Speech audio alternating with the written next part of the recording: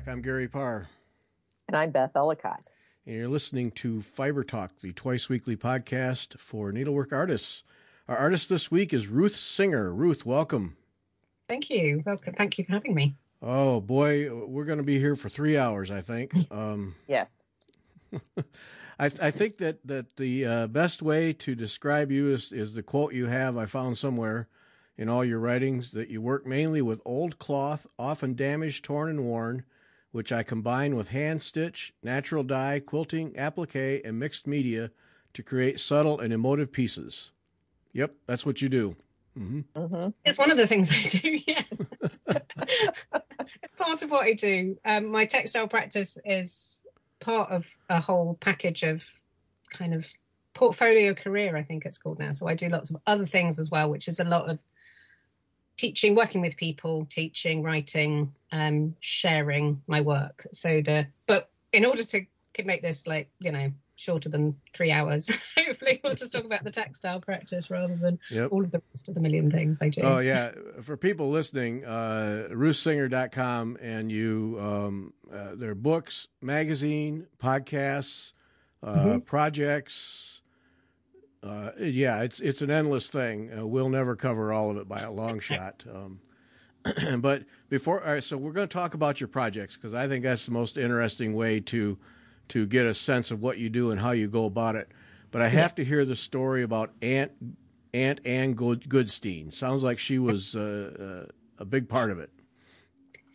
Yeah, I think I, unlike most textile artists, um, I didn't grow up learning textiles with my mum or my granny because um, my mum doesn't make. And um, my granny, that was a professional seamstress, she died before I was born. So I didn't get to learn from her. So I didn't grow up surrounded by textiles like most people.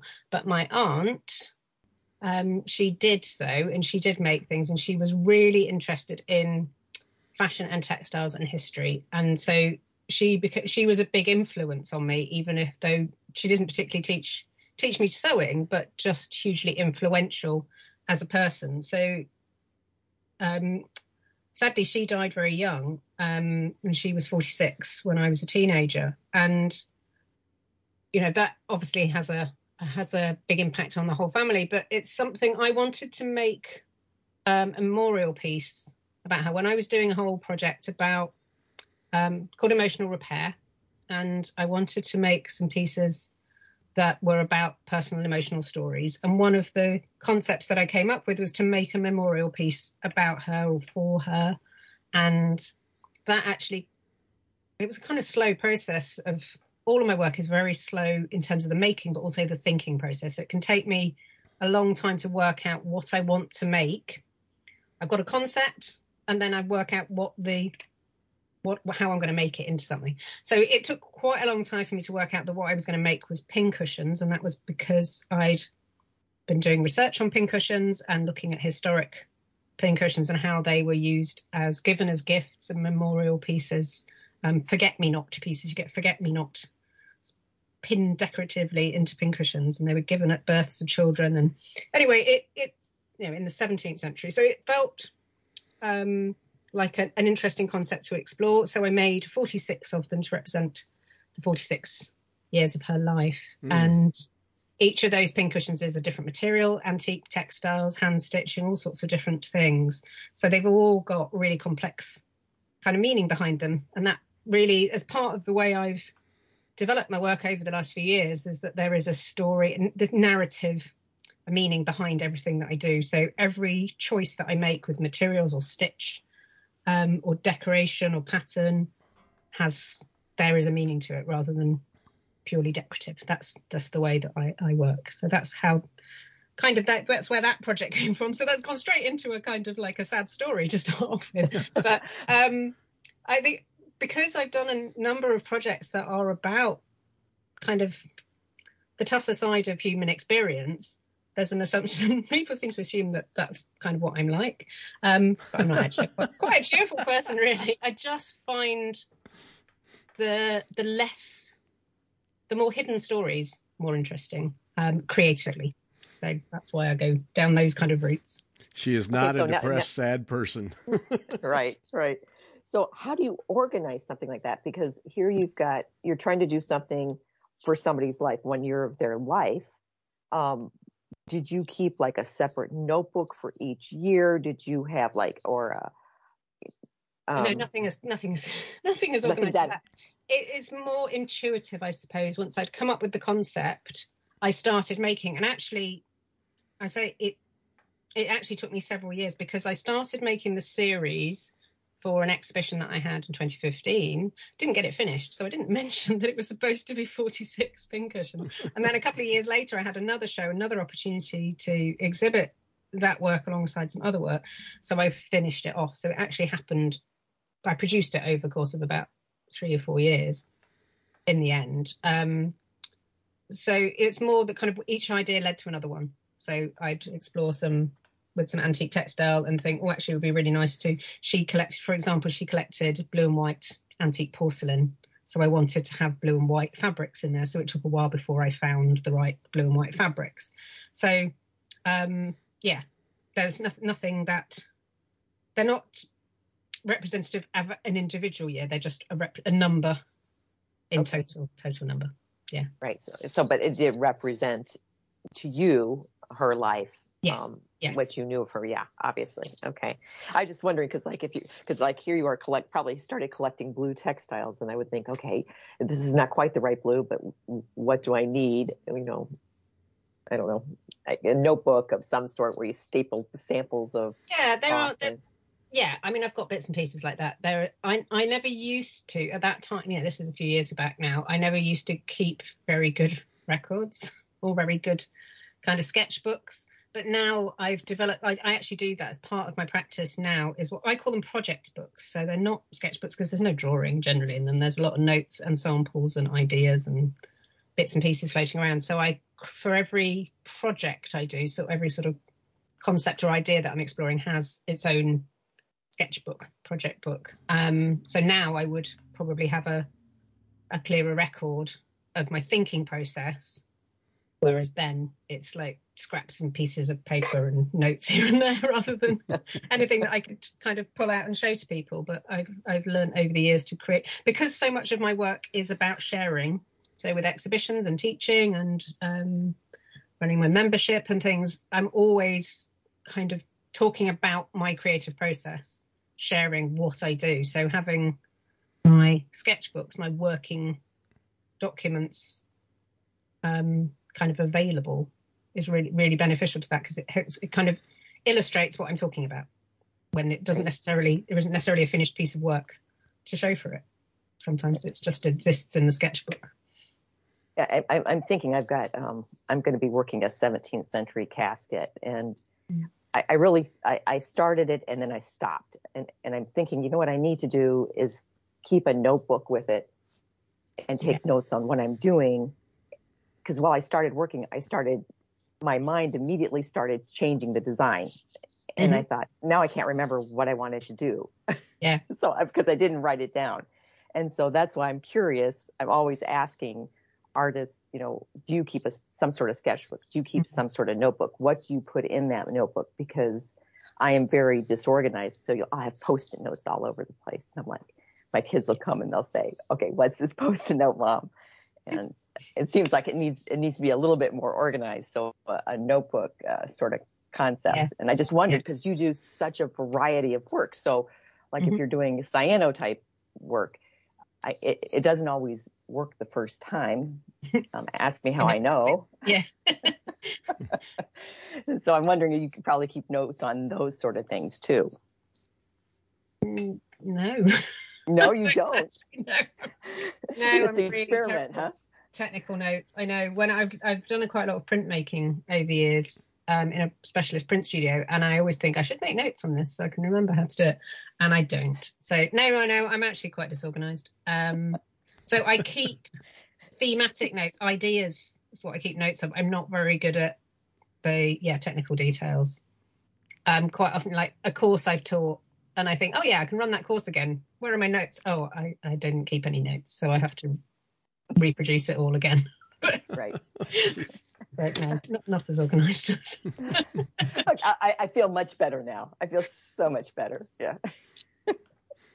because that that's uh you know why take notes you know i just go and like i'm if i do some sort of printing i just throw it someone says well how do you do it i was like i paint it on i throw it outside it makes a print or it doesn't make a print you yeah. know Yeah.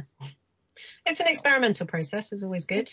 right right absolutely absolutely Yeah, the, the one thing when when I first started looking at, at your work is you describe yourself as a maker, Mhm. and you know encountered other people who are, are makers in one form or another, but you truly are. I mean, textile art is at the at the foundation of it, but uh, you, you truly are a maker. Uh, uh, take an idea, concept, and make something out of it and it's uh, it's fun to go through and watch how you've developed each of these ideas Yeah, I do. I think I, I've started using the term artist maker, which I think probably I don't know if it exists outside of my own my own head. I don't think anybody else really using that because I the the making that I do is kind of concept driven, ideas driven, rather than functional. Partly, which I guess my early career, I was a more functional maker. I made kind of bags, scarves, cushions, um, that kind of textile products. And as I've moved on from making things you can use to artwork, I've kind of shifted how I describe myself. So the artist maker kind of covers both that making, you know, the material materials and the technical skills are really important to me, but also so are the ideas, and the two have to go together for me. Um, in terms of what I count as my own work, you know, I make functional things. You know, I make quilts for for use, um, and I make you know occasionally make clothes. Don't do it very often anymore, but I can do that kind of functional sewing making. But my own creative artist practice tends to all be non-functional kind of work. Um, so artist maker kind of sits a bit better, but it yeah, it makes sense to me. Whether it makes sense to anyone else, Yeah, yeah. but so all right the, the projects are what really tell the story so this cultures of care umbrella umbrella project and, and there's so many things underneath that so how, how did this come to be Yeah, it's a. I mean, it, it came to be in its actual sense because I have funding for that. So uh, we have in in the always UK helps Art- Arts Council who you can apply to for funding creative projects with a public engagement aspect to them. So it's not just for artist practice; it's for working uh, and sharing with other people. So, and I've done that. I've been working in that way for quite a long time, so I'm familiar with that that process and what they what they're after. So, which you know, which is great for me, means I'm I'm in a position to be able to apply for that funding um, fairly regularly. So, I had a concept that I wanted to explore, which was about care, and I was able to turn it into a a kind of project, that, a fundable um, project. So that's why it's got a whole load of different elements, including exhibitions and public engagement and community projects. So they're all of the elements that are needed to make it a fundable project. Luckily for me, I also love doing those bits. So I don't feel like that then I don't have to add on bits in order to make it fundable because working with other people is really fundamental to how I work creatively. So fortunately for me, it works really well the two go together um, rather than having to kind of separate them out. But the cultures of care concept came from several years of doing work that was about, like I mentioned, my emotional repair exhibition, you know, talking about memorials and um, and loss and grief and all kinds of difficult subjects and approaching them with care. So when I was, you know, sharing personal stories, I was was always about being careful about that. Um, and I did a big project that finished a couple of years ago called Criminal Quilts, which is looking at the stories of women who were in prison in um, a local prison in the 19th century, and a series of photographs that exist in a in the local archive of those women. And I did ten over 10 years worth of work on them, and it had a lot of attention. But something I had to keep repeating was that I am approaching these women and their stories with care. Um, I don't want to sort of sensationalize and I don't want to glamorize because they're basically women who are very, very poor and having really, really tough lives and very few choices and ended up in prison um, for just, you know, stealing stuff in order to be able to pay their rent, buy food. You know, so it's, I've always approached that as a kind of my work about them was an act of care, you know, kind of in retrospective uh, act of care towards them, and that I want the work that I do to be to be caring, to be sensitive, to be um, emotional. And what I realised last year that was that a lot of my previous work could come under this this this kind of umbrella term, this banner of care, without me really realising that that was a term I could use about my work. But somebody else reflected it back to me and said, "Well, your work's all about care." Mm. oh yeah, so it is. I hadn't really you know all of these disparate or fairly disparate different ideas and projects that I've been working on. They all kind of come together. So um, I decided to create that as a specific project title um, or umbrella that I could then work with a number of different elements of the community engagement exhibitions, my own personal research and doing my own, making my own body of work that were all under that that umbrella. I mean, umbrella. I like the you know umbrella term works very well, but I think of it as a basket, like with loads of balls of wool or something like that, it, that they all fit fit together, or a sewing bo- sewing box with all sorts of different bits that fit in. So it's lots. It's got lots of different elements, but they all contribute to different underrepresented or underexplored stories about care. So for my purposes, you know, care can be interpreted in those different ways. For my purposes, it's about caring for nature, uh, caring for the planet, caring for people, and um, caring for. Uh, is I'm working with museums, so I talk about caring for objects, but it's more about museums and community stories, collective histories, and and note like the the underexplored stories of that come up in museum collections. So it's a whole variety of different ways of working and different ideas to explore, but it's giving me the opportunity to to try some things that have been kind of at the back of my mind for ages and I haven't had the space to really dig into them. So yeah. that's the background of it. yeah. Well, and the criminal quilts one mm-hmm. is, you know, the title criminal quilts kind of gives you a, an initial reaction, but when mm-hmm. you look into it, at least it struck me as this is not a story of criminals; it's a, a story of survival. I mean, you, yeah, it it, it really is is tragic that that these women have been put in these in this position to mm-hmm. become criminals to survive, but uh, to yeah, to exactly. capture that, yeah, yeah, and that's why you know it's it's looking at looking at the story, the the wider story from a different angle. So they might have been looked at as criminal statistics, as mugshots, as you know, lots of people treat them as non-human, you know, not important, of no value um, historically. And the terminology that's used in the Victorian documents about them, you know, it's not.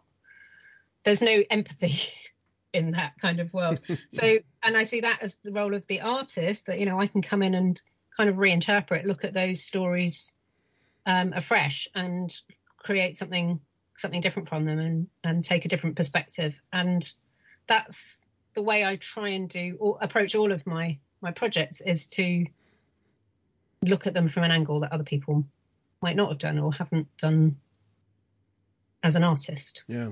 Now you have a, a, a, book about the criminal quilts, then, yes. and that so that tells the stories of mm-hmm. of a number of these women. Yeah, it's got kind of broader stories. So I've the the whole collection of photographs that I worked from, there's nine photograph albums of women from the 1870s to to the First World War. So I I've kind of told a bit of the story of each of those date periods. They're not consecutive. There's massive gaps. You know, there's there's periods we've got loads of information and some with none. Um, and then also in the archive there is written records that go with them, but they don't necessarily match up. So there might be written records from one decade, but no photographs and photographs and no written records. So there's all sorts of gaps. Um, so it was a, I had a lot of volunteers working on doing that research with me, and we looked into all sorts of different elements. They did a lot of research of looking at the individuals and tracking some of them through ancestry and looking at their personal stories. And I did kind of broader research about, you know, women in prisons and um, particularly about prison clothing. I did a lot of research on things like that, that kind of the more textile link as well. Um, so the book contains all of that research and then all of my textile work that I made um, for the first exhibition in 2018. So, and and the previous work that I'd made because I'd been working on it for a few years by then. So there was a big chunk of mostly quilts at that point. I was mostly making quilts. Often confuses people that they're quilts I've made inspired by the stories of criminals, not quilts made by criminals always confuses people. Yeah, yeah. Um, often get that one. people often. Uh, so you know, I, I, probably picked a wrong title, but it works. It worked at the time, um, and since since the book came out, I did carry on working on it for another couple of years, and did some additional work, which mostly isn't even quilts. Um, so I kind of allowed myself to go off. This is where you know I, I, I stray off in different directions. Um, so I've done pieces working with a jeweler and working with a fine artist and painter and all sorts of different elements to that. So it's it kind of it could have kept growing. Could have I could have carried on working on that theme, just that theme, for the rest of my life. But I I always had this other work going on, this kind of personal and emotional stories that never really got quite the attention it deserved because the criminals were taking up all of my um all, all of my kind of public capacity. So I kind of I've part I kind of put them away now. I've I've made the conscious decision to end that project. So I'm no longer making work along that theme.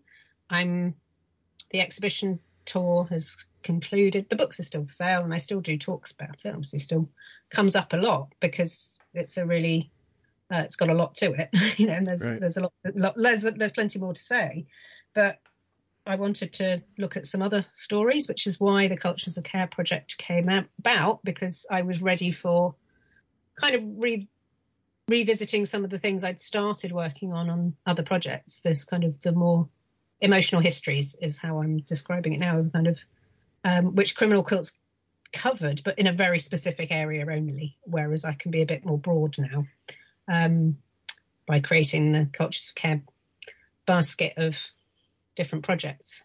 Yeah. And in in this, it's interesting to me. It it always amazes me how many museums exist that, that you know the small ones that we don't hear about, don't learn about, and uh, in the UK there must must be one on on every corner because it sure seems like like there's a ton of them. But uh, you awful lot of work with museums to create all this work. Yeah, well, that comes from my my background, my training. My first career was in museums, so it's really fundamental to how I work. I mean, yeah, there used there used to be more museums than now. When I was a child, I, we had costume museums in both of the cities near me, and neither of them exist anymore. So you know, it's um, I have to make the most of what there is what there is left. But because that that my training and my spent my 20s working in museums, that kind of research way of working. So I would explore around a subject, around an object, and finding out all the different angles that might be interesting. I think that is what why I work creatively in the way I work now. That I'm interested in the underrepresented stories, the things people don't always know about a particular subject, because that's how I was trained to look at museum collections, and museum objects. Um, so as much as possible, I do try and work directly with museums um, or archives, and historic collections or buildings, because I find you know material stuff really interesting, especially when my work is quite concept driven. You know, with ideas about you know my project is about care, and that was a, it's quite hard to make sense of that what it actually means. Yeah. But when I'm looking at collections care, so I'm looking at how we look after objects in a museum context and what is considered worth caring for or what is considered not important um, are quite interesting creatively in terms of the value judgments and things that um, that we've cre- created around around objects. So there's lots of different elements to it, but I just think museums are great. They're just really, really fascinating. They're always. Inter- I mean, I not not all museums. I have my preferences, textiles, obviously, um, and the older the better. You know, I'm, I'm not great with an industrial museum and um, aeroplanes and that kind of thing. I struggle with that. But I worked for three years earlier in my career in a transport museum. So I worked with London buses and tube trains. Um, so, you know, I think I probably I had I had my fill of that kind of thing. and now I'm like, you know, let me get back to the the 17th century embroideries, please, because I feel feel more at home with them. Yeah. Um, but it's to do with hand making. That's what I find most interesting. That's what I'm interested in. Those older handmade objects, um, particularly textiles, obviously, um, yeah. and that's what I always get drawn back to. Yeah, the um, uh, the Blossom and Thorn mm-hmm. project. Now, mm. I learned that you have the Making Meaning podcast and then the journal, and you've just yeah. you got your first uh, first edition of the Making Meaning journal. Mm-hmm. The Blossom and Thorn project. I yeah. I did not know about hedges. No, apparently you don't don't have them so much in the US. No. What a no. what an amazing thing. Wow. So they're they're the best way to describe them is linear woodlands. So they're sort of rows of trees, but here they can be two, three, four hundred years old. Mostly two under two hundred years old, which is still pretty old. Um, but there are some really, really old ones. And they're just really interesting. And, you know, they were created to keep animals in mostly, but also to keep people out. But um, they have survived the industrialization of our um, of our agricultural system in some places. There's, we've lost thousands of miles of them in the last 50 years, but there are still plenty left. And I I moved um, moved town a couple of years ago, and I'm back in my hometown now, and I'm living on the very edge of the um, housing, and then there are fields and with loads of hedges, and there is lots of footpaths, so we can walk. I can walk very easily out up into the countryside, um, which is, you know, I forget other people can't. You know, lots of places you can't do that, but it, here you can. And a lot of those footpaths run along these old they're very old roads that have stayed as footpaths rather than being turned into roads. So they still have their old hedgerows along sometimes one side, usually both. Um, and you know, at various different points of year, they're in the winter they're completely bare, kind of showing their tree structure, and then in the summer they're covered in leaf and blossom and have birds nesting in them, and you know you get mice living under them, and therefore you get um, birds of prey hunting over them. And in a, in it, when they're at their best, they can be quite degraded um, and not been looked after for 50 years. So sometimes they are looking a bit thin and sparse, but at their best, they are amazing. And they're, so they're, they're kept trimmed to kind of below human head height, kind of shoulder height, probably. Um, so you can kind of see over them until they grow up, they go wild. So they're kind of, you can have quite old trees, but they still stay quite small because they're kind of pruned yeah. every year to keep them quite contained. But they are interesting culturally and aesthetically and environmentally. You know, they're really interesting, interesting things. And I, my, my, the idea of my project was worked with volunteers um, in a specific area um, of the National Forest, which is a new plantation, new forestry plantation in um, in England, which, where I asked volunteers to go and look at, go for a walk on this particular long distance um, footpath and report back on what they found. And I then made some artworks representing some of the findings, some of the things that they they found or they identified, and particularly looking at um, where they could identify old hedges or um, the number of species, the different tree species in the hedge, um, and all sorts of different elements. And I used some of their photographs and I used some of my own kind of research walks as well to to create a series of uh, long strips of textile that were each told an element of the story of the of the data and of the the ideas about hedges, the thoughts about hedges, and then they were originally made to be displayed in an old hedge, which is basically some overgrown trees. So they, they it's stopped being cut as a hedge and turned into a um, kind of straggly trees. So I actually a, a festival. So I actually displayed them in this in this hedge um, a couple of months ago, which was a really interesting way of working because I've never done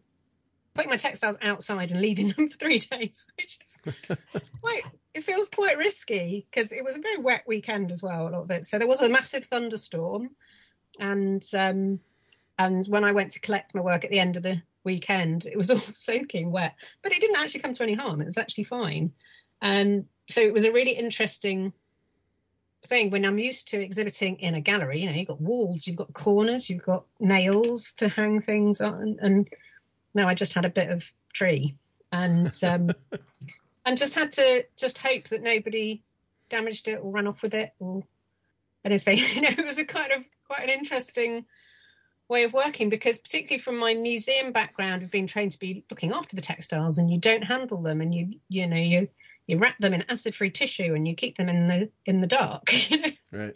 When you're looking at antique pieces so then go yeah it's fine i'll just hang them in this hedge and leave them unattended for three days was quite a difficult concept but i loved it. I loved doing it and i loved the engagement it created. So with the volunteers who worked with me they said things like you know i've never looked so closely at this something that i walk past every day. You know something that is really familiar for us in this country they're very familiar old hedgerows we you know but to properly focus on them to properly pay attention and that was what the purpose was for me was to to encourage that kind of close attention and paying attention and close observation and thinking about what they mean in culturally and personally. So, you know, it's a kind of it's a taster of what I would like to do more about all sorts of different elements of social and cultural history that we have around us that we don't even notice so much. Yeah. So yeah. Yeah, you, you filled in a lot of blanks for me with that project because I follow uh, a number of cyclists who live in northern England, and uh-huh. they ride on these footpaths. I mean, there's these paths everywhere, mm-hmm. and I'm so jealous because they can just go ride anywhere, yeah. and uh, no traffic. And then so they'll, of course, there's there's plantings all along, and uh, you know the word hedgerow, hedgerow that just sounds to me like somebody planted stuff and they keep it trimmed. But then mm-hmm. when you mm-hmm. show how they how they actually make hedgerows mm-hmm. uh, by bending bending trees and tying them off and then maintaining that. It's just a fascinating thing, and then to to embellish that with your art was uh, was really fun to see. Hmm, great. Yeah. I think the, the thing with cyclists, the reason they don't necessarily like hedges when they is a lot of the the plants that are used in hedges is a hawthorn, which has these huge, great thorns on it. It's really good at puncturing your bike tires. Yes. so that's the downside of it of when they when there are those they're vicious vicious spikes that on the thorns so yeah can be problematic for cyclists but uh, otherwise it's a yeah it's a lovely environment to be in they're really they can be really kind of sometimes they're really high so when if you're walking cycling on a little road and they're they're way above your head height it's almost like in a little tunnel and they are wonderful things are they protected there in, in England then, or um... not really? Okay, kind of. Yeah, you you can't rip them out. I mean, for, you know, until the 1980s, you could just rip them out. Um, once they and but now you technically can't, but landowners still do, which is it, it's it's contentious, yeah, because they're not as protected as then they're protected in that you can't rip them out, but you don't have to look after them. So Oh. It's a bit kind of like having a historic building. You can't knock it down, but you don't have to look after it. So it's yeah, it, it, it's tricky. It's not, it's not an ideal situation. No. And the reason I'm asking is we um, th- there's a place called the Natchez Trace here, and you can see the old trace line. Um, and, and it's sunken because mm-hmm. so many people walked on it. Yeah. And but there's only a few sections left mm-hmm. that are like that, and they um, they did finally protect the whole.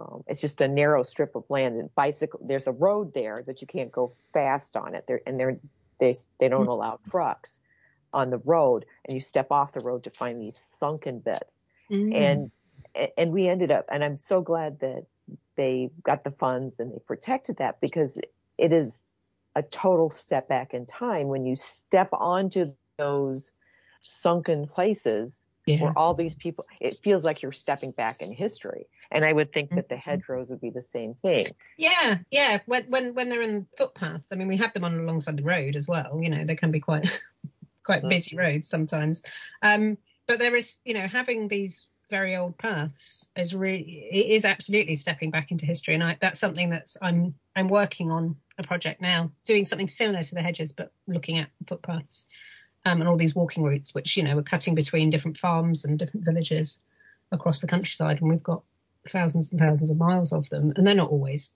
that well looked after or protected or open, easy easy to access. You know, they're like farm animals on the fields and stuff. You know, and um, sometimes barbed wire and all sorts of things, all sorts of issues happen. But you know, we are very fortunate to have have those, even though there's you know there's limitations um, and issues with them but historically i think it's really interesting people walking all the time you know it's not that long ago that right. everybody walked everywhere all the time and right. it's yeah again that's the sort of this is the sort of thing that i go off on these kind of creative meanders about. How well, can i make some work to do with walking on old footpaths? And um, it'll one day it'll it'll filter through the idea and the material will come together and then you know I'll, I'll be able to produce something. But for a while there's the idea floating around and it's waiting for its kind of material partner to to come to my mind and I work out what they how it how it comes together. That's why I, my work often takes me a very long time because I don't like to rush into making something just because I've had an idea. I have to wait for the the idea and the material to match up and sometimes it comes straight away, and sometimes it can take years. So it's a slow slow process. Right. When I saw your hedgerows um, cloths, I wondered if they were sort of like the um, the prayer cloths, the prayer banners that people have been mm-hmm. um, putting out, and actually, you know, um, and leaving out. Um, a lot of people put them uh, like they'll make these little quilts mm-hmm. and then they'll hang them out and leave them outside and let them um, disintegrate basically because yeah. we, we all know that those textiles and I was just that was I was that was interesting that you went back and that it bothered you to leave them out like that. And, it was for a specific event, right? Over, over, a weekend, so I just had them up for the specific event. Um, I'm I would like I do like the idea of leaving something out permanently. I mean I've done it a few times in buildings where I've made pieces of work that are kind of hidden in the building and kind of go back and see what happens. Um, and they mostly all just end up. I mean, I made tiny pieces that like slotted into little gaps and cracks in the wall and like round pipes and things. And eventually they all fell off, and I think they probably got hoovered up. Um, you know, because that was in the, the, old studio building that I used to have a, a space in, and I, am not there anymore, so I haven't been to check on them. Whether any of it's still there or not, I think they just kind of get sort of swept up in the in the in the in the dust. But I don't know. But it, it is an interesting idea of like making work and then just kind of leaving it to see what happens and kind of relinquishing ownership of it, which is quite difficult when you've spent hours, days making something. Yeah. So right but I think it's an inter- in creatively. I think it's an interesting way of working of not having this possessiveness. But then that comes the problem of like I'm an artist that needs to exhibit. You know, I go well, I haven't got anything to exhibit because I left it out for the uh, the, the, the, birds to make a nest in, um, which is creatively right. interesting, but doesn't you don't have a lot to show for it. Which is why I do a lot of photography and writing about my work because some of it is more kind of ephemeral or short term. You know, and it maybe needs to it's not going to work in an exhibition, you know. I have shown Blossom and Thorn, the Hedgerows project, in a couple of exhibitions, but it, it's completely different without without a hedge. it's a bit right. right. not quite right without its hedge. So yeah, don't know where that's going to end up, but um, it's always interesting to try different ways of sharing my work and seeing how it works in a different context. If it's made for a specific location, it's completely different in a in another one. So if it was made to go in a museum, you know, in a, in a historic building, and then goes into a white space gallery, it feels very different because it's kind of the scale is different and the the atmosphere of the room and just the physically how it fits fits in the space is completely different. And I I've just find that sort of stuff really interesting of how things work in different spaces. You, you, took me through a little journey with the the blossom and thorn with the hedgerow thing because mm-hmm. then I was reading about your nature nurture idea of mm-hmm. wrapping trees in quilts. Yeah. And when you talked about how you didn't want it to look like it was a setup for a photo shoot, mm. you were trying to to convey a concept of caring about nature, and mm-hmm. and then you showed pictures of the quilts, and then I thought, well, well, how did she handle that with the uh, hedgerows? So I went mm-hmm. back to look at that art to see if you had if it blended in with the hedgerows, yeah, as opposed to the quilts, which some of them are rather stark whitish wraps yes. around trees. So it yeah. was it was interesting just to see how you handled the two different things, and mm. I appreciate the quilt thing is is an ongoing project. But uh, yeah, was, that was an experiment with some existing quilts to see how they worked on trees, and I did notice you know I didn't like the way they stood out if they were really contrasting. Um, like you say, the light light color or bright colors. I didn't actually like that aesthetically. So I'm actually I haven't actually connected hadn't connected the two together, even though I've written about them in the same um, making meaning journal that you're talking about. now you're saying that, I did probably plan think about the colours for Blossom and Thorn after I, I, did do that after I'd experimented with the quilt. So that probably was in my mind because originally the Blossom and Thorn was going to be much brighter colours. And I decided actually I ended up making it in the kind of dark browns and greens that completely blended in with the woodland to the point where my work was like quite hard to see from if you weren't right in front of it. You wouldn't necessarily notice it because i didn't want it to look like colorful flags you know because it was more more depth to that. It's not just a decorative device. Um, so i made them blend in so much that they kind of disappeared which was which was interesting and to to contemplate so when i do come back to the the wrapping trees with quilts I might try and find something half halfway in between. So right. they're not really stark, but they also don't disappear completely. So people who actually see them, or maybe I should make them so they just look like trees. I don't know. Be interesting to try that. Make some that really blend in that aren't obvious at all, and see how that feels.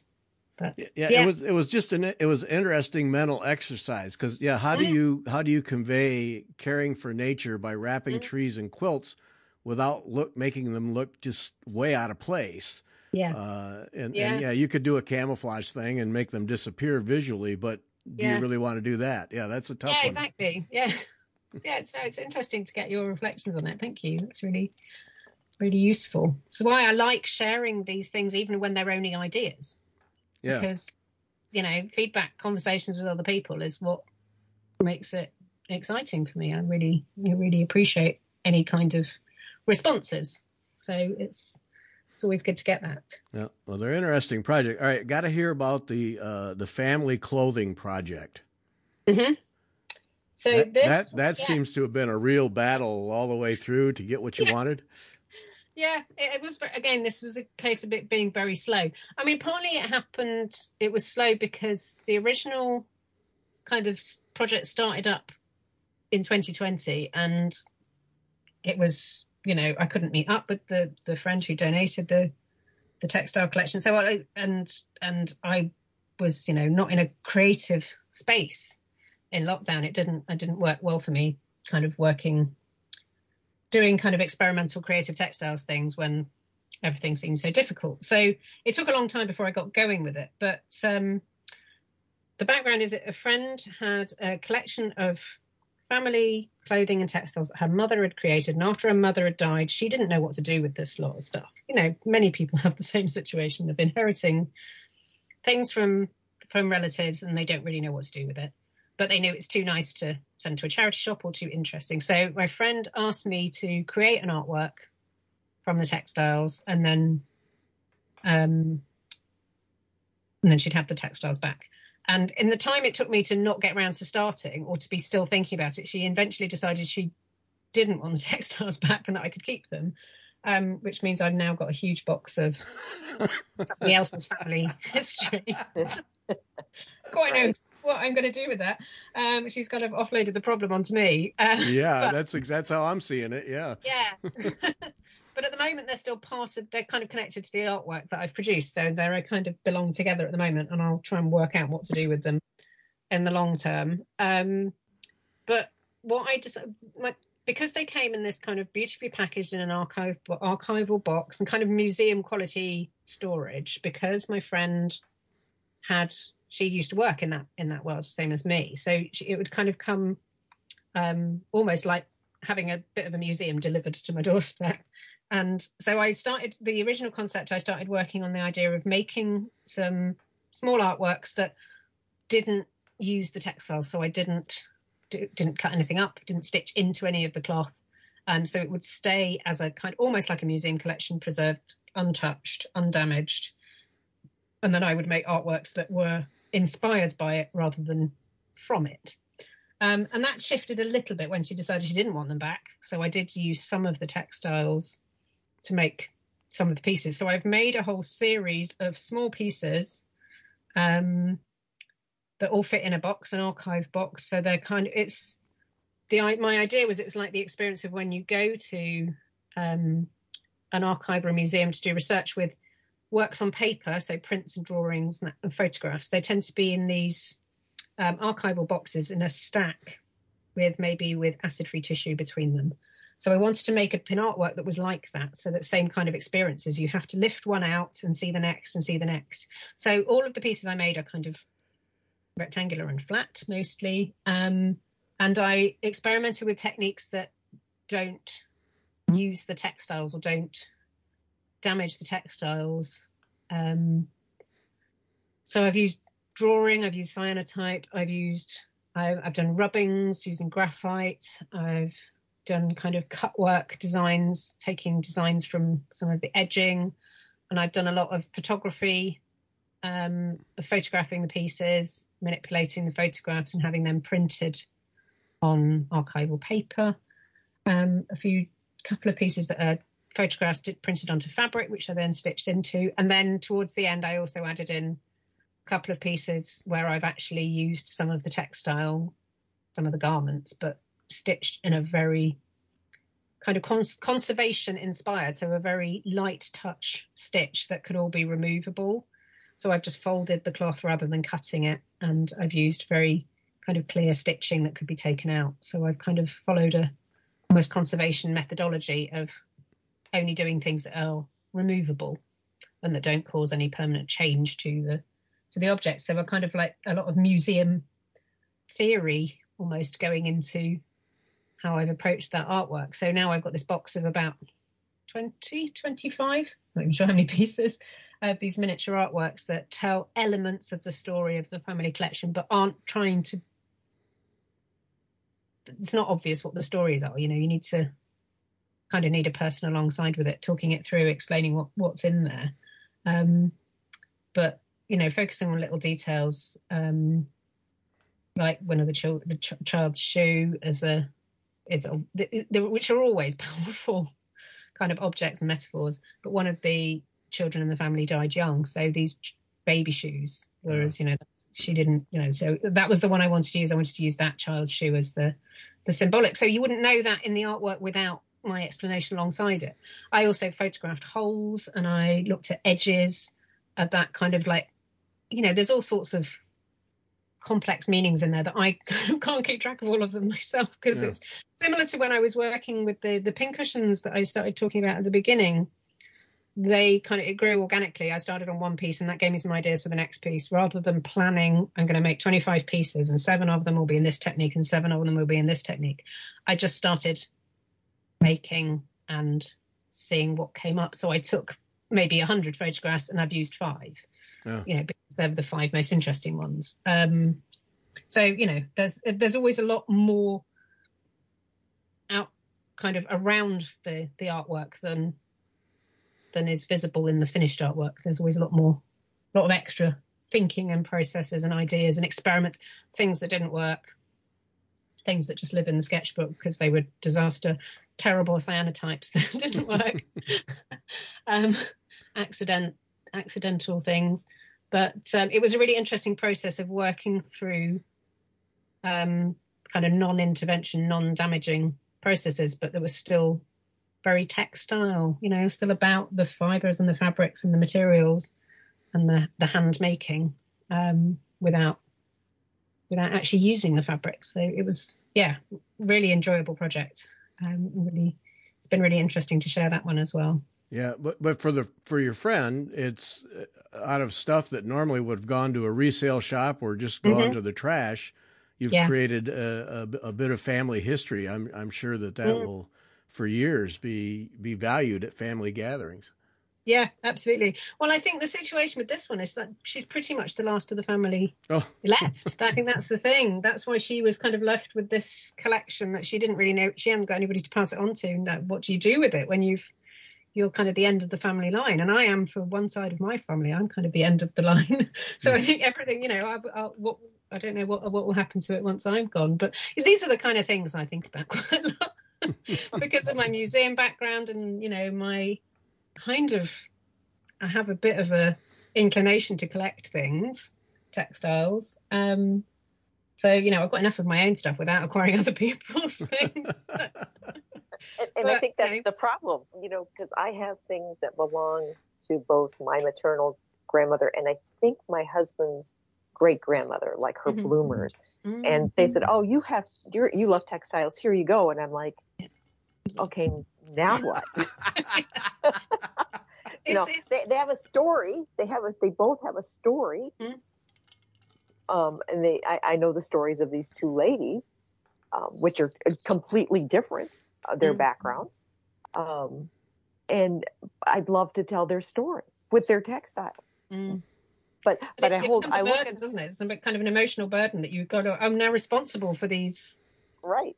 This archive. What do I do with it? It's what makes me always makes me smile with particularly things you know like the bloomers and like petticoats and this. I, how would people feel if we knew that like in a hundred years somebody would be like packaging up your underwear, giving it to your great great grandchildren? I mean, it's quite a weird idea, isn't it? Oh. How I feel about it. Not sure how they would feel about it, knowing that they're, you know, their their their secret, their hidden intimate garments were being right. passed around their descendants. But it's very common. I don't, I don't quite know why. It's an odd thing to end up keeping, but that is, does seem to be what is kept. Right, right. Yeah, and, and you wonder why. You know, she she she had must have had beautiful clothes. The the bloomers. I know, that, like the piece of um, that's my my own maternal grandmother's. It's um it was she was making a tablecloth. Um, mm-hmm. and I'm sure it was going to be an altar cloth actually for church. Mm-hmm. Um, and it, so it never got finished, and it's and it's out of a very rough piece of fabric. So mm. it's it, to me, it's interesting that. Mm. And, and then this other's got, got lace on it, and you know, crocheted lace, and very fancy. And this yeah. is, you know, the, the the difference in these two ladies' lives. It's uh, mm. yeah, that's position. Yeah. yeah. Okay, yeah, so now have... now we have the ongoing question of Beth's casket, and then what is Beth doing with the bloomers? Okay, this is yeah. Yeah, great. Always something at my house, huh? All right, we're going to run out of time here, and and Ruth, you do have you do have a business, and uh, so we want to talk about how people can get involved with that because your your maker uh, members, and yeah. then I'm fascinated by your 2023 uh, theme of damage. So mm-hmm. so how how does your business work? How do people get involved with you? And participate in all of these things? That's a lot of yeah. There's a lot of lot of things going on there. So yeah, my Maker membership is an online group that I set up um, during the pandemic as a way of connecting creative people who are interested in the ideas and the way I work rather than textile processes and techniques. So it's more about um, I talk about doing research and how to, how to approach research, how to turn that research into something, how to build more of this meaning and stories and narratives into whatever it is you're making. So I have textile people, painters, um, and writers, and all sorts of people, creative practices are in the membership group. And one of the opportunities that I create for the membership is um, an online exhibition once a year. And next year's exhibition in the early part of the year will be about damage. So the idea of that is part of the CARE project, the Cultures of Care project, and it was going to tie in with an exhibition that I have myself in a museum, which was going to be about damage. And I say going to be because it's all had to change since I planned it all. Because creative problem solving is part of my um, my multiple jobs that I do. So that exhibition is now something else, but the damage theme is my the membership are all busy working on that. So they're creating some new work around that theme. So that's just one of the ways that I like to support the the membership by um, with learning and experimenting and trying new things. So the membership is a monthly program. You can join for a month at a time, um, and that's open all the time. Um, and then I also have my podcast, Making Meaning, which is just started the new series um, after quite a long break, but we are back now. Got lots happening. I've recorded uh, several episodes. Can't remember in the last few days. I've done loads. so that's where I have conversations with other artists and creatives, sometimes with coaches and writers, about the meaning behind their work or the stories behind what they do, the kind of the, the hidden histories kind of thing that I'm really interested in. So those are once a fortnight. Um, and then I have a lot of ongoing bits and pieces. I have the uh, the Making Meaning Journal, which you've been talking about kindly, which is a small digital publication sharing some more of the background of my work um, and some of those those stories. So there'll be another issue of that in the new year, um, alongside my exhibition, which is is in the UK. So if you have any listeners in the UK, you'll be able to come to that. Um, and I can't remember what else. I probably do loads more other things. I can't remember them yeah. right now. That's well, talk, talk about this damage theme. What? Okay. And you you've got a, uh, what? Karen Logan and Mandeep. I'm not even going to ah, try that last name. Yeah. How, how, does that whole work? So that's a different. That that's oh. a whole. That's no. That was. This is where it's had to change. I've had to change the project in order because of some issues with the museum I was working with. So it was going to be a whole project about damage. Oh in the exhibition. So now that's just the membership working on that. And my exhibition, which will be, there will be an online version as well. So everybody will be able to see it, is now about homes and belongings and, sorry, home and belonging, not, not the object, belonging in a place. Um, and both Mandeep and Karen, who are two artists I'm collaborating with to produce some new work around that theme, both of them are working with me over the winter to create new work for that exhibition. And I will be including in the exhibition some work about the, the museum that it's going to be in. The exhibition is in a museum which is an old house. So it's a mm. 18th century house turned into a museum quite recently. So I'm going to be doing some work about that that something to do with a, a, a, home turning into a museum and how that kind of changes how we feel about buildings, whether people live in them or not. And and I've got a whole series of work that has been ongoing about um, deserted medieval villages, which is another kind of like English countryside thing, um, which are they're archaeological sites that were were villages, um, small villages, and that were abandoned or people were forced to leave way back in like the 1400s, 1500s. Um, but there, there's still like of lumps and bumps left in in the fields, and you can kind of see the like you were talking about these holloway the the cut the the the paths the footpaths that have been cut deep into the into the ground from generations of people walking on them. So there's quite a lot of those around in the area that I live, and there's lots of them in England. Um, and they're really interesting archaeologically, but I find them interesting to look at the emotional history of people being evicted from their homes and how we um, how we look at them now as just as a kind of historic monument, whereas actually they're like the ruins of people's homes, which is, you know, so I'm interested in the emotional side, the emotional histories of that. So I've got a whole new series of work about that kind of area, um, that kind of work, which will be part of this exhibition about homes and belonging and um, community, which covers a whole broad selection of things. And yeah, there will be online versions of that. There will be a Making Meaning journal that will cover that in more detail and uh, lots more to come, basically. Just a lo- loads of things, loads and loads of things, um, but all really exciting things. So it's really nice to have a chance to to talk about them and to share them. Wow. yeah, and especially you know with the refugee crisis, you've got mm-hmm. a whole nother um, idea yeah. with you know yeah, moving that, and that, home that and that's that another is in there as well yeah that, that is in there because this is another subject we can't get into. My my grandma was a refugee hundred years ago, so I'm working on things to do with her story. But I don't think they're going to come out in this round of the exhibition just because I've got quite a lot of other things to do. but that's been right. a project that's you know turning that family history into creative work is an ongoing project that I'll probably be working on for years. But it's yeah, there definitely um, elements of that will come into this to this exhibition and kind of th- those threads will carry on into future projects as well because every, everything I do kind of connects in some way.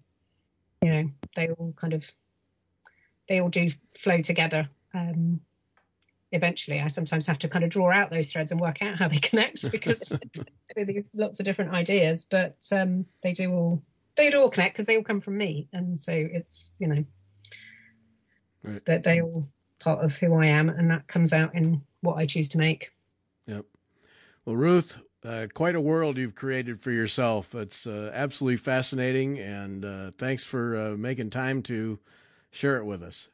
You're very welcome. It's been really interesting. Thank you very much. All right, and thanks Thank to everyone you. for listening.